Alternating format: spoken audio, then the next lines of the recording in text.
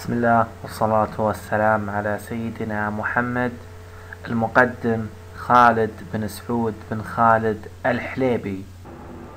إن شاء الله راح نتكلم في هذا الدرس آه، المهم والغريب آه، نهاية الحتمية للكون.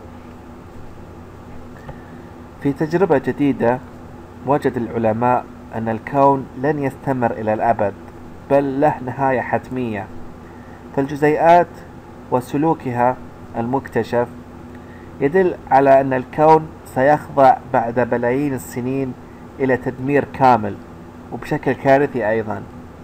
النجوم والمجرات والأرض والبشر أيضا وكل شيء سيفنى. هذه النتيجة تخالف ما يدعيه الوجوديين وكل التوقعات السابقة من أن الكون سيتوسع إلى الأبد. أن هذه النتيجة وصل إليها القرآن قبل 1400 سنة تقريبا. يقول تبارك وتعالى في القرآن الكريم كل من عليها فان ويبقى وجه ربك ذو الجلال والإكرام. سورة الرحمن من آية 26 إلى 27 صراحة ما نقول له سبحان الله والله أعلم.